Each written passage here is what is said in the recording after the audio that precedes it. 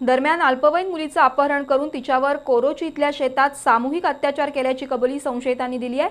चारही आरोपींनी घटनास्थळासह गुन्ह्याच्या क्रमवारीची माहिती पोलीस तपासात दिली. त्या मुलीवर अत्याचार करण्यासाठीच अपहरण केल्याचं प्राथमिक तपासात स्पष्ट झाल्याचं पोलीस उपअधीक्षक गणेश बिरादार यांनी सांगितलं. दिवाळीत फटाके उडवताना इचलकरंजीतील आठ वर्षीय मुलीचं अपहरण करून तिच्यावर सामूहिक अत्याचाराचा घृणास्पद प्रकार घडला. पोलिसांनी या प्रकरणी रोहित जाधव शुभम भोसले सौरभ माने आणि शाकिब शेख या चार संशयितांना अटक केली. पोलीस कोठडीत असलेल्या चारही संशयितांनी तपास अधिकाऱ्यांच्या पथकाला गुन्ह्याची ठिकाणं दाखवली. इचलकरंजी शहरातील मुख्य चौकातून मुलीचं मोटरसायकलीवरून अपहरण केलं. त्यानंतर कोरोचीतील ओढ्याजवळच्या शेतात नेऊन तिच्यावर सामूहिक अत्याचार केले.